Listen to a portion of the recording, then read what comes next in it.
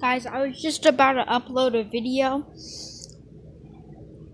of a scammer and it got copyright claims, so I'm not going to be able to do that video.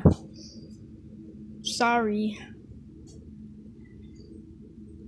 Bye. I'll probably put the name in the description.